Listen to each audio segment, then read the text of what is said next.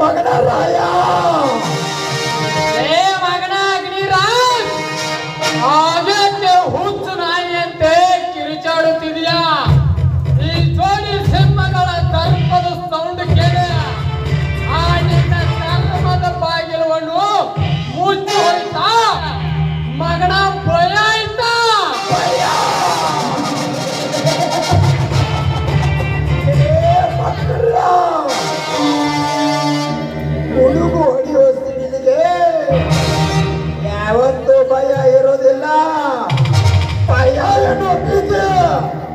ನನ್ನಲ್ಲಿ ಇದ್ದಿದ್ದರೆ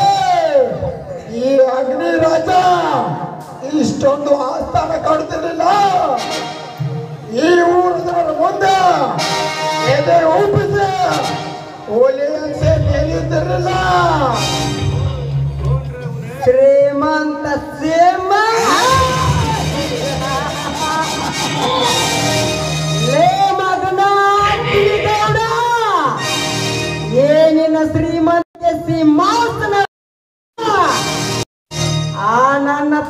ಕೊಟ್ಟ ಬೇಕ್ಷದ ಬುದ್ಧಿ ಆ ಬುದ್ಧಿಯನ್ನು ಬಿಚ್ಚಿ ನೋಡು ಮಗನ ಅಲ್ಲಿ ಮೊಟ್ಟ ಮೊದಲು ಕಾಣೋದು ನನ್ನ ತಂದೆ ಹೆಸರು ಹೆಸರು ಕೇಳಿದ ತಕ್ಷಣ ನಿಂತು ಹೋಗುವುದು ನಿನ್ನ ಉಸಿರು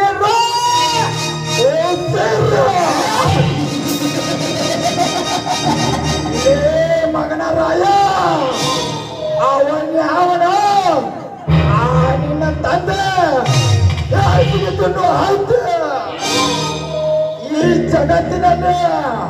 ಶ್ರೀಮಂತ ಎದ್ದ ತಕ್ಷಣ ನೆನಪಿಗೆ ಬರೋದು ಈ ಅಗ್ನಿ ರಾಜ ಒಬ್ಬನೇ ಅವನ್ ಯಾವನು ಏ,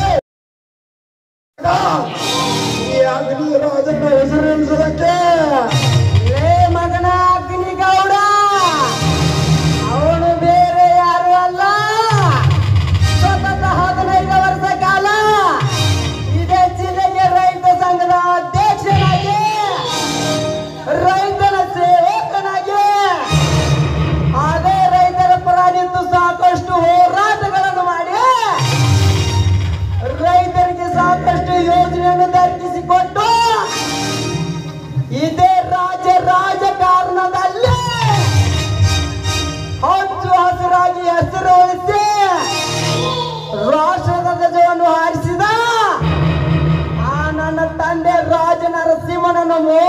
ಕೊಲೆ ಮಾಡಿದೆ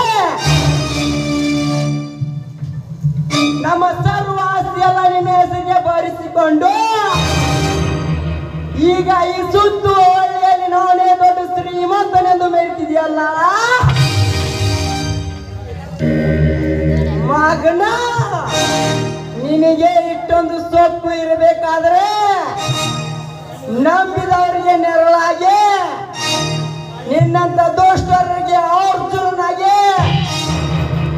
ನಿನ್ನ ಪ್ರಾಣವನ್ನು ತೆಗಿಬೇಕೆಂದು ಹಠ ತೊಟ್ಟು ಬಂದಿದ್ದಾನಲ್ಲ? ಈ ರಾಯ ಈ ರಾಯ ನನಗೆ ತಿರಬೇಡ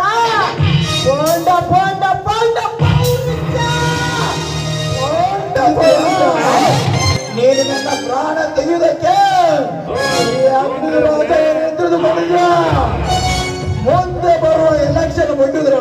ಮುಗಿದ್ರೊಳಗೆ ಹಾಕಿ ಇಡೀ ರಾಜ್ಯಕ್ಕೆ ಮಹಾರಾಜ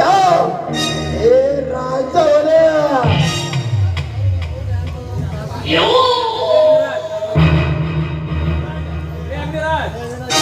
ಲೇ ಮಗನ ಅಗ್ನಿರಾಜ್ ಸತ್ತು ಹೋದವ್ರಿಗೆ ಶಾಂತಿ ಸಿಗಬೇಕಾದರೆ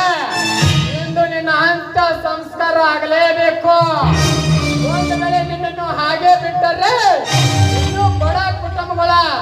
ಎಷ್ಟು ಬೀದಿಗೆ ಬರುತ್ತದೆ ಅಂತ ಆ ದೇವರಿಗೆ ಗೊತ್ತು ಆ ರಯನ ಈ ಮಗ ಬಾಯಿ ರೀತಿಯಲ್ಲಿ ಹೇಳಿದ್ರ, ಒಪ್ಪುದಿಲ್ಲ ಅಂತ ಕನ್ಸುತ್ತದೆ. ಇವನಿಗೆ ತೋರಿಸಲು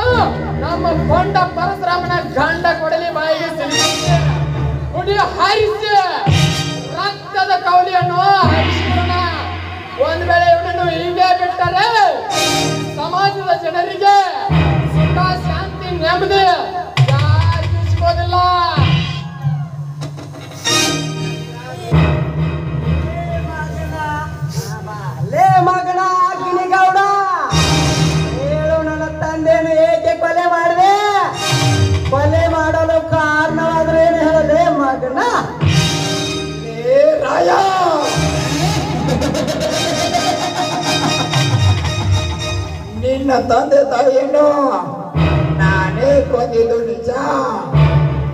ನಿಮ್ಮ ಸರ್ವ ಆಸ್ತಿಯನ್ನು ನಾನೇ ಎತ್ತು ಹಾಕಿದ್ದು ಅದು ನಿಜ. ಆದ್ರೆ ಇದಕ್ಕೆಲ್ಲ ಕಾರಣ